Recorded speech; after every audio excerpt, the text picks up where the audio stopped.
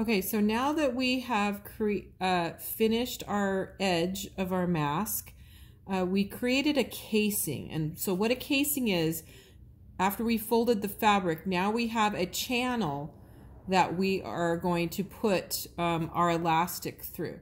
So this is what came with your kit. It's super, super stretchy. So in order to, for us to put it through this channel, because what we're going to do at the end, we're going to just tie it.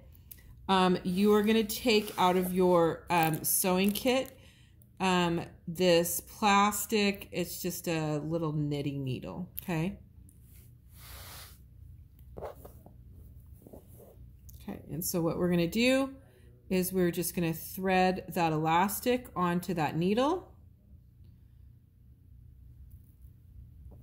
And then we're going to put the needle through our casing and coming it out on the other end.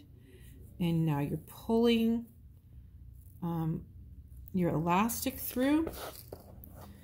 And then you're just going to even it up. And then you're going to try it on and determine where it needs to go. And then you're just going to tie a knot in it. So tie it to start with, try it on and kind of try to figure out where that knots needs to go.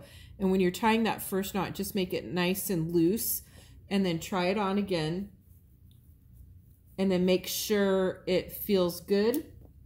And then once it does, then you can tighten it up a little bit more and do it one more time. So it's nice and sturdy.